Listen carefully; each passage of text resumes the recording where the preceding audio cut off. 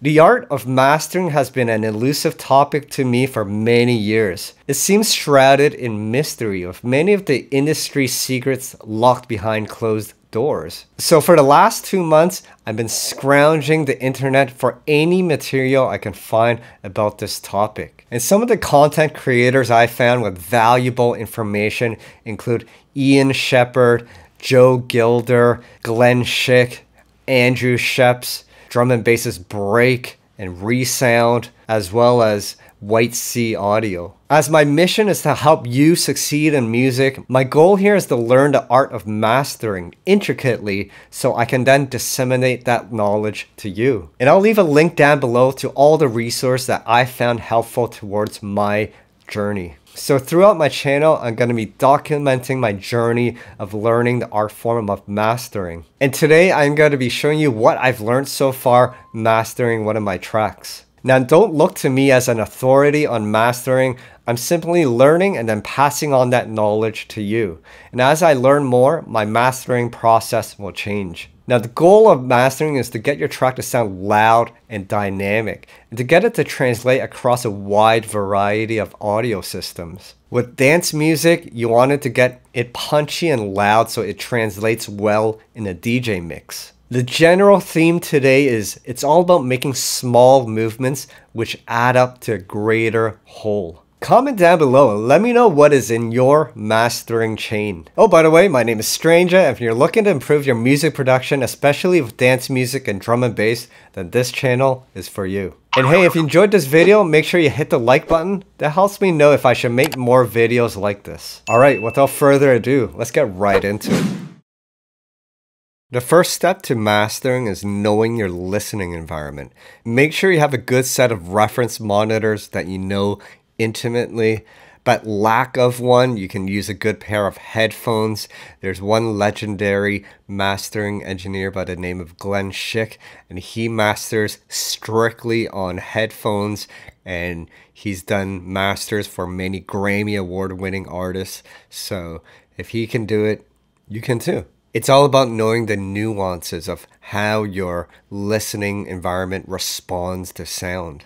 A tip I heard recently from an engineer is to never do a mastering project on a set of speakers you don't know because then you have no objectivity. So use a set of speakers or headphones that you know very well that you've listened to on for hundreds of hours. That way you know the sound intimately. So these headphones that I have right now are the Beyerdynamic DT990 Pro. They're really crisp and clear a really flat signal, and have really great stereo separation. It allows you to really fine tune the details of your mix and master. Just make sure you get the open back version for mixing and mastering because they have a little more of an open sound, much like listening on a pair of speakers. The closed back are more for recording so there's no bleed into the microphone. Also, make sure you get the ones with the right ohm setting. So I have the 250 ohm version. Some sound cards may require a preamp because it may not have enough juice to feed into the 250 ohms. So the software platform that I'm using to do mastering is Wavelab and it's an industry standard for the mastering process. However, you can do mastering completely in your DAW. It's just that Wavelab has a bunch of functions and meters that facilitate the mastering process. Before you begin the mastering process, make sure you have a good reference track. Look for a track that's already mastered and sounds close to how you would like your track. That way you have something to aim for when you master your track. In terms of your pre-master file, the file format should be in 24-bit audio and I usually export it at 44 kilohertz but I have heard some engineers prefer higher sample rates. It's really up to you. But the 24-bit resolution gives you additional headroom, so you don't have to worry about having extra headroom for the mastering stage. As long as the file is not clipping or distorting, you should be good. The goal of your pre-master file is to get the mix sounding as good as possible before entering the mastering stage. There's a misconception that mastering engineers can fix all your mix issues and make a bad mix sound good with mastering. Having a bad mix doesn't always equate to a good master, but having a good mix usually leads to a good master. Gain staging is another important technique in the mastering process. Essentially what gain staging is, is the adjustment of your input level going into your effect or plugin. The goal here is to apply sufficient input signal into your plugin because a lot of these mastering plugins are designed to behave like analog equipment where pleasant nuances and harmonics are only produced when the signal is driven to a certain level. Just make sure you don't clip or distort the signal. So learning how to read the VU meter is an important skill in this process. Unlike the regular peak meters that you find in your DAW, the VU meter has a slower response rate, much like the human ear, which gives you a great understanding of the average intensity of your audio signal. Just note that the reading on your VU meter will look different compared to your peak meter. Usually a reading of zero on your VU meter means about negative 18 dB on your peak meter. So the meter I'm using is the MV meter by TB Pro Audio and this is a free VST so I'll leave a link down below so you guys can grab it and I'll just play you my pre-master so you can see how the VU meter works.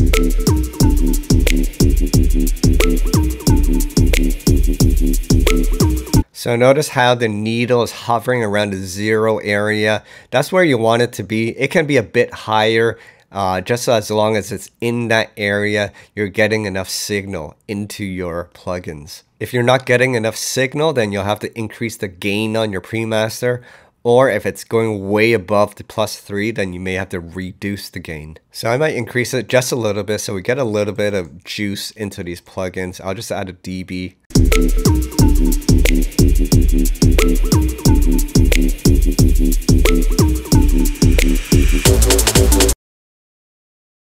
let's talk about the limiting stage. Essentially, the limiting stage creates the overall loudness of your track. For years now, there's been an ongoing debate against loudness over dynamics. However, in dance music, the signal is generally louder in recent times, we are seeing a trend more towards dynamics though. Now, I picked up this technique by watching Break's mastering video on computer music. And what he does is right when he begins a mastering session, he applies a limiter at the end of the mastering chain. This allows you to hear more pronouncedly all the effects you'll be applying before the limiter stage. Now to get an understanding of how loud we should make this, we're gonna uh, compare it against my reference track. And I'm gonna use this loudness meter, which gives us a reading in a unit called LUFS. Now, I'm going to leave a link down below so you can read more on what a LUF is, but essentially it's a new unit to measure loudness across different platforms.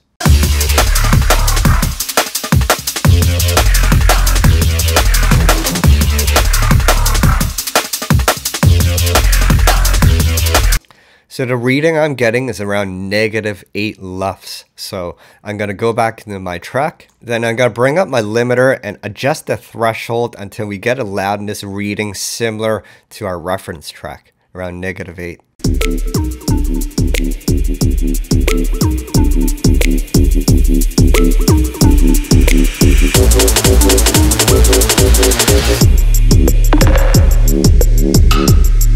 Yeah, so my threshold is at negative 7 and that gives me a pretty loud signal. Now the limiter that I'm using is iZotope's Ozone 9 Maximizer. Now there's several different modes here which determine how the limiter responds to the signal. I'm using IRC4 set to modern. Uh, it seems to give you the best results. There's less distortion and weird artifacts and it kind of preserves the transients a little more. Now just make sure your ceiling is set to negative 0.1 or negative 0.2. This is an industry practice to prevent intersample peaking. Essentially, when your digital signal is converted back to analog through your speakers, those jagged edges on your digital signal is rounded out. And that may result in peaking above your ceiling. So this prevents any clipping that may result from that. So the next step in our mastering stage is tonal balance. And to achieve this, we use EQing. And it's all about making small movements.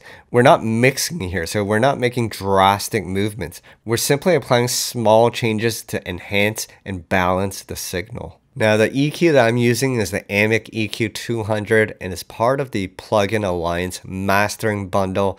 And I'm on their monthly subscription and the price is quite affordable in terms of the plugins that you have access to. And it's great if you want to get into mastering because there's so much that is available to you. So once again, I'm just making small movements. I'm using a high shelf and boosting all the frequencies above 3.5K I'm just boosting about 0.9 dB. Likewise, I'm boosting with a bell curve around uh, the 2.4 kilohertz area and again just a small movement at 0.7 dB and then there's a bigger boost at the 400 hertz area to give it a little more beef here I just want to give that mid bass a little more beef so I'm boosting a bit more here now the stereo width knob is great increases the width of your signal just don't go too drastic because then it's going to destroy your signal.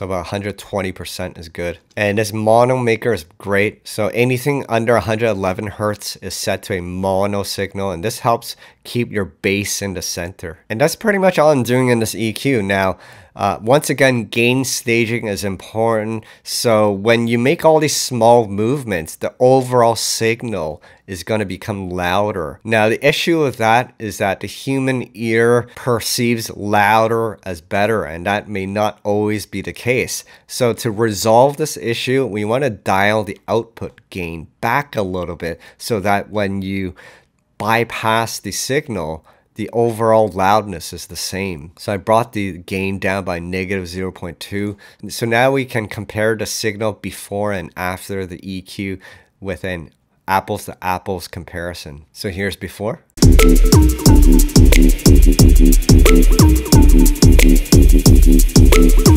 here's after.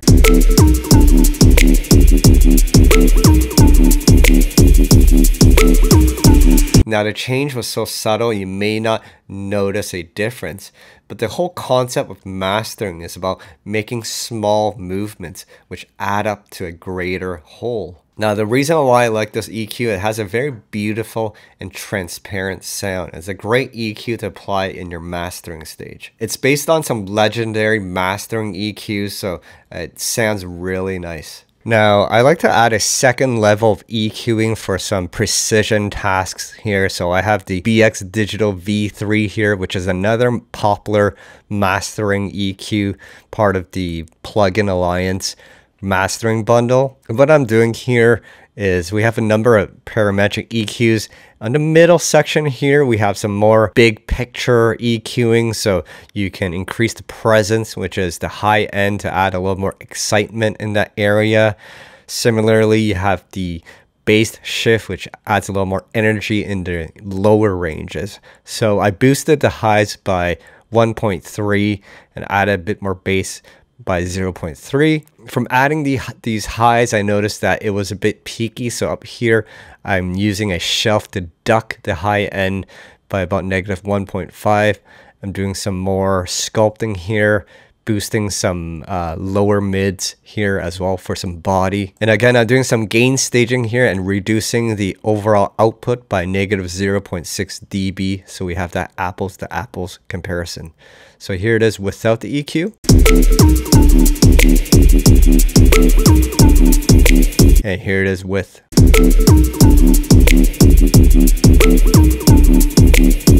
And just so you can see the overall change, here is the completely dry pre-master.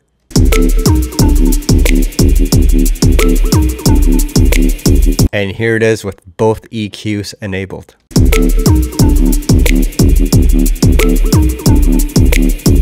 Now let's just check it against our reference track to make sure that our EQing movements are correct.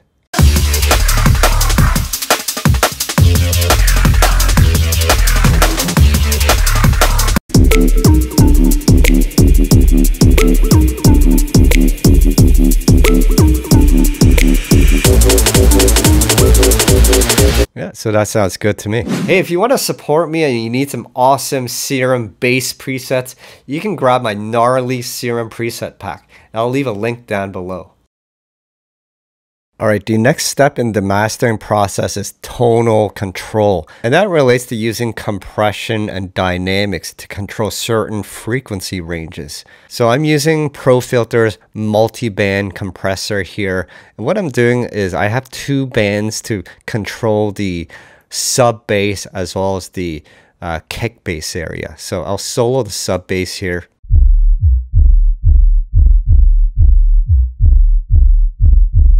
So that's with the uh, compression off. So what I'm doing with the compressor is I'm controlling the dynamics of the sub bass so that it doesn't distort when it goes through the limiter.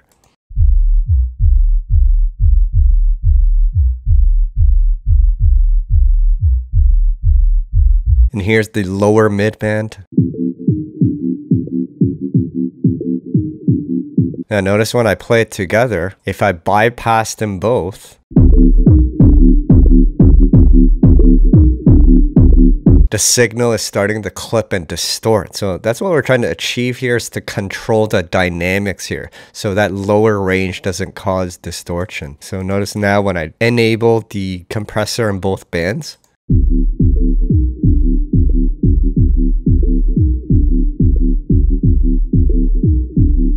That sounds a lot more cleaner and transparent. Now, I just want to warn you guys that multi-band compression is a very complex and advanced skill to learn. So if you're not comfortable with multi-band compression, I would even recommend skipping this stage. You can also achieve tonal control just by using EQ to balance those bottom end and other frequency ranges that are causing an issue. Through my study of different mastering engineers, I have noticed that some don't actually include a multiband compression in their process, so that's completely fine if you skip this stage. So again, here is a comparison with some gain staging, and this is before the multiband compression.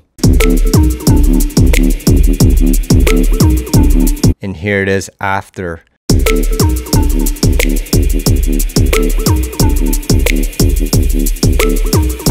So a lot more control and a cleaner signal. Alright, the next stage to mastering is adding character and coloration to your audio. So the whole idea with this stage is that before we were applying effects that had a more flat response, whereas in this stage, we're passing it through different effects to add character and coloration to our audio. So there's certain plugins that mimic analog equipment and produce pleasant nuances, randomness, and harmonics to your audio to give that cool analog character. So I'm going to use a couple of plugins to add some coloration. The first step, I'm adding this Kramer HLS channel strip. And I'm not actually doing anything on this EQ other than turning this low end knob to the 60 hertz uh, range. I'm not adding any gain to it. The way this was designed is that based on the analog um, gear, when you switch this knob, even though you're not increasing the gain, there's an actual bump on that curve and adds a nice roundness to your bend. So I got this trick from the mixing legend Andrew Scheps. And once again, I'm tucking the output gain a bit because that bass boost does increase the overall volume. So here it is without HLS.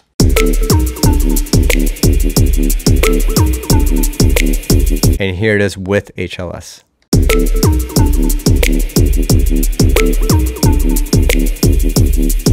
adds a little bit of warmness to that bottom end. All right, so the next stage of coloration, I got this trick from Break, and this is a popular mastering EQ. It's called the Dangerous BAX EQ. And again, this is in the Plugin Alliance mastering bundle. I'm not sponsored by them, by the way, but I really enjoy this bundle, especially if you want to get into mastering. It gives you access to pretty much every plugin you need to master a track. So the concept of this EQ is is based on the Baxandall curve, and apparently this was used to design many of the vintage uh, EQs in your uh, audio system. So when you see that treble and bass knob on those vintage amplifiers, uh, they're probably using the Baxandall curve, and they have a pleasant sweet sound to this curve, which is why we like to add it for some coloration in the master. So the way this works is there is a low shelf and a high shelf. And what I'm doing here is I'm boosting the high shelf about 1.5 dB and the curve starts at around 7100 hertz.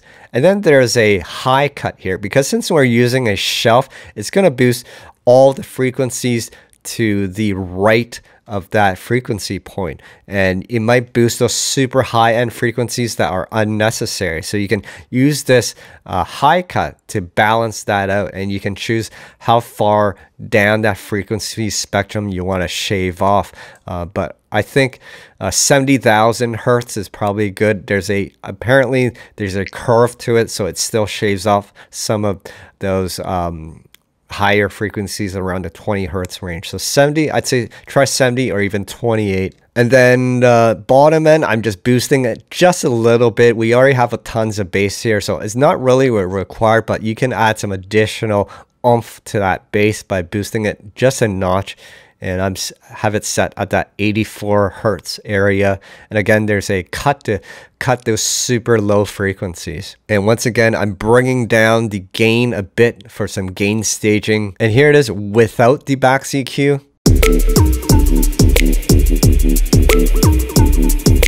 And here it is with.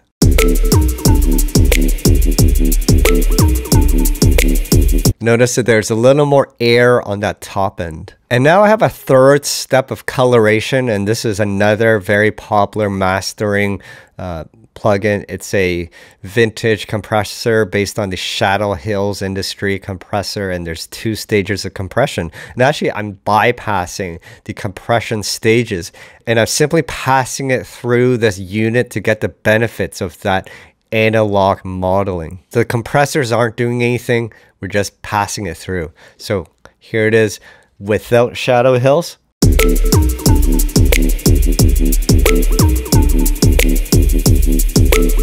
And here it is with.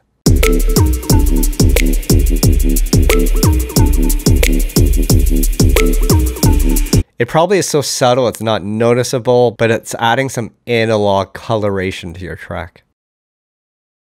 All right, so the next stage of the mastering process is dynamics. And we're using compression to control the peaks of the track so that the limiter at the end of the stage doesn't have to work as hard. So I have this SSL mastering compressor here and the threshold is just down a bit. So the compressor is only working a little bit. So this uh, VU meter shows the gain reduction in other words, how much it is compressing and is doing at most 0.5 to 1 dB of gain reduction. It's not doing much, it's just taming a little bit of those peaks.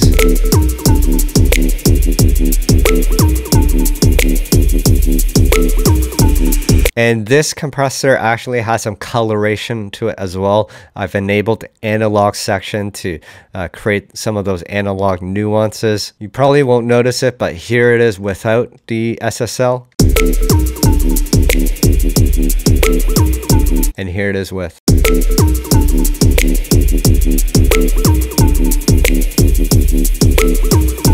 All right, and then I have a second stage of compression where we're doing a little more work on the dynamics. And what I'm doing here, I have a high pass filter here. Now, this is the Ozone 9 Dynamics compressor. And what's great about this compressor is you can feed a high passed sidechain signal. The whole idea here is that you don't want that bottom end energy to affect the compressor because then you'll get some pumping in your signal. So what I'm doing here is I'm high passing the signal going into the compressor. So I'm to solo this and you can hear the sidechain.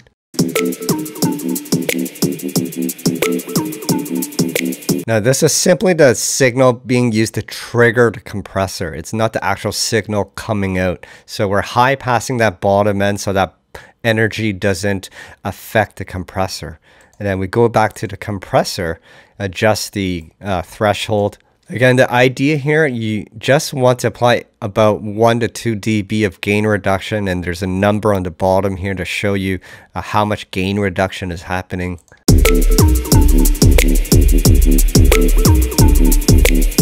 So I'm using a ratio of 2 and my attack is at 75 milliseconds so you can preserve those transients. Otherwise it's going to sound squashed and flat and you lose the dynamics. And you set the release to about 100 uh, milliseconds and that allows the music to breathe. And then at the final stage of the compressor, I'm adding 1.5 dB of gain to make up for the compression. So that does some gain staging at the end. So here it is without the compressor.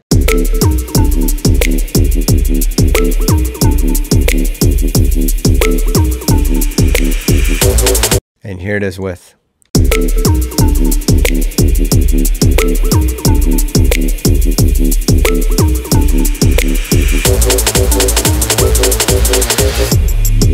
All right, in the final stage of the dynamics section, I'm using a clipper. And what the clipper does is it flattens or trims out those super high peaks that's beyond the threshold. And this gives us a little more control of those peaks so that the limiter does not have to work as hard. So again, we're only aiming for around a 1 dB of clipping.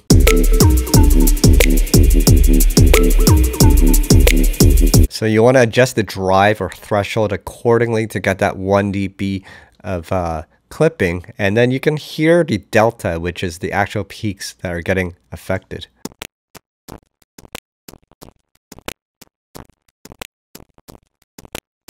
So nothing major, just those super peaks. All right, so this brings us to the end of the mastering stage. And all this is then sent to the limiter to give us that overall loudness. So let's compare our signal before all the processing. And I'll just keep the limiter on so we still have that loudness to compare to. So this is before the processing.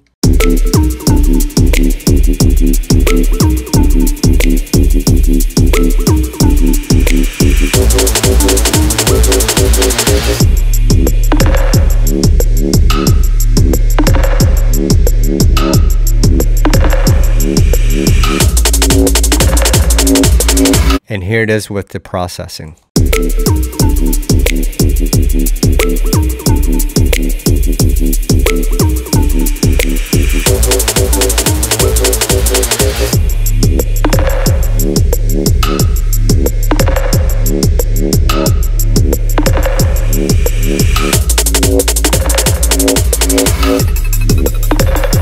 And let's check this against our reference.